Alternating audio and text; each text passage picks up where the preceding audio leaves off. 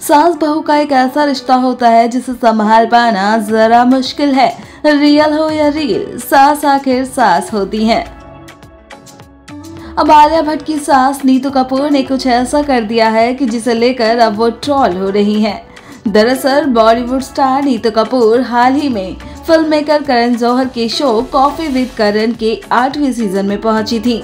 यहाँ उनके साथ जीना तमान भी इस चैट शो का हिस्सा बनी। जहाँ दोनों ने ही अपने बीते दिनों के बारे में बात की। तो वहीं इस बीच नीतू कपूर ने बेबी राहा कपूर को लेकर भी कई प्यारी बातें बताई, जो फैंस का दिल छू ले गई। लेकिन इस बातचीत के दौरान अदाकारा ने कुछ ऐसा कह दिया जिसे सुनकर करण जौहर के मुँह से भी निकल गया कि घर में मिनी बैटल चल रहा है। इस बात को सुनने के बाद इंटरनेट पर भी कई लोग एक्ट्रेस नीतू कपूर की क्लास लगाने लगे। आइए जानते हैं कि भला शो के दौरान ऐसा नीतू कपूर ने क्या कह दिया। दरअसल, इस चैट शो के दौरान अदाकारा नीतू कपूर ने बेबी राहा कपूर को लेकर कई बातें की।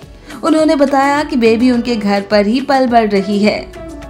नीतू कपूर ने बताया कि वो घर के हेल्पर्स को भी लगातार टोकती रहती हैं कि बेबी राहा को पहले पापा बोलने के लिए कहो, जबकि आलिया बोलती है कि मम्मा बोलो। तो एक दिन आलिया ने आकर कहा कि उसने मम्मा बोला जिस पर नीतू कपूर ने कहा कि उसने मम्मा नहीं, मम्मम बोला। जो सबसे आसान होता है बच्चों के लिए बोलना तो उस पर ज़्यादा खुश मत हो।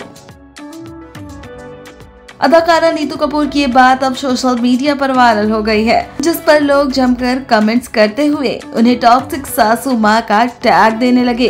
एक यूज़र ने कमेंट कर कहा, उनके विचार कितने टॉक्सिक हैं। तो एक यूज़र ने कहा, मुझे नहीं पता कि ये इतनी प्रॉब्लमेटिक क्यों हैं? हर चीज़ को लेकर। तो एक ने कहा टिपिकल टॉक्सिक सासू माँ वाला बर्ताव